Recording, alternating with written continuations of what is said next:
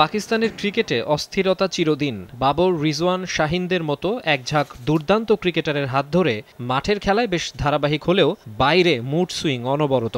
রমিজ রাজাকে পিসিবির চেয়ারম্যান বানিয়ে নতুন স্বপ্ন দেখছিল পাকিস্তান, কিন্তু বেশি দিন স্থায়ী হননি রাজা।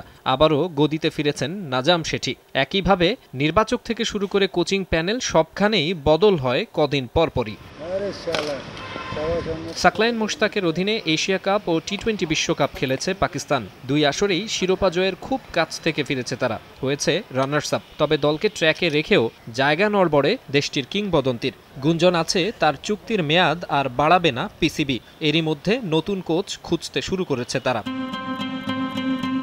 নাজাম শেঠির বোর্ডের পছন্দের তালিকায় সবার ওপরে মিকি আর্থার। এই দক্ষিণ আফ্রিকান অস্ট্রেলিয়ান এর আগেও হেড কোচের দায়িত্ব পালন করেছেন দেশটিতে। পাকিস্তানের দুই হাজার সতেরো চ্যাম্পিয়ন্স ট্রফি জয়ী দলের কোচও ছিলেন তিনি। সে হিসেবে সুখস্মৃতি থাকার কথা। কিন্তু এখন পর্যন্ত দুপক্ষের আলোচনার যে খবর বেরিয়েছে, তাতে সেরকম কিছু মনে হচ্ছে না। পিসিবির প্রস্তাবের জবাবে নাকি এক গাদা শর্ত জুড়ে দিয়েছেন মিকি।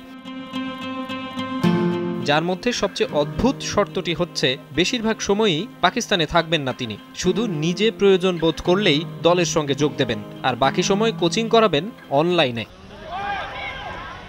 এমন শর্ত নিয়ে সমালোচনা চলছে পাকিস্তানের ক্রিকেটাঙ্গনে সবকিছুর মাঝে ডার্বিশায়ার কাউন্টি ক্লাবের দায়িত্ব ছেড়ে মিকি আদৌ পাকিস্তানে যাবেন কিনা তা নিয়ে সন্দেহই রয়েছে। মাকসুম আলম খান, সময় সংবাদ।